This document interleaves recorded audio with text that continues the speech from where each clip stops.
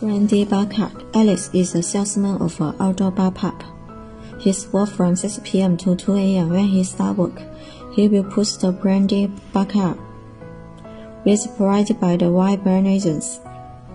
Shape outlaw with high visible digital branding stick graphic. This bar cart not only make wide service to the bar customer, but also attract customers who working around the outdoor park area. It's great helpful in great performance of the selling.